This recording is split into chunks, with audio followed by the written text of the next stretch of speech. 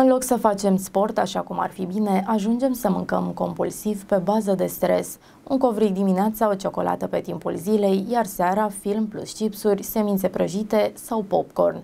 Sigur vă sună cunoscut și sigur știți că nu este deloc sănătos. Ce alternative putem să pregătim pentru micile gustări pentru a evita alimentele nesănătoase?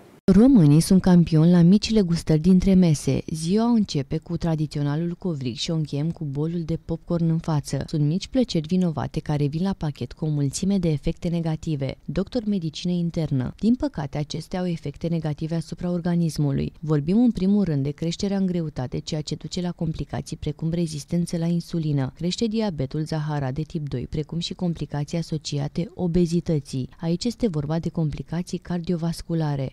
Mana Ciuhureanu, medic nutriționist. În primul rând, ar trebui să identificăm cauza, poate hrănim doar o emoție și nu hrănim senzația de foame și este recomandat să ne îndreptăm atenția către niște gustări cât mai sănătoase. Stresul, plictiseala sau rutina alimentară neregulată provoacă fluctuații ale nivelului de glucoză din sânge, ceea ce duce la creșterea dorinței de a ronțăi. Gustările nu trebuie să depășească 400 de calorii într-o zi. Pot fi împărțite în două tranșe a câte 200 de calorii fiecare, echivalentul unui baton de ciocolată ciocolată sau unui platou de legume. O altă soluție de a scăpa de acest obicei nesănătos ar fi distragerea de la ronței prin activități mult mai benefice pentru trup și minte. De asemenea, trebuie să ne hidratăm corespunzător deoarece uneori setea poate fi confundată cu senzația de foame. Cantitatea necesară de lichide variază între 2 și 4 litri în funcție de greutatea fiecăruia, relatează observatornews.ro.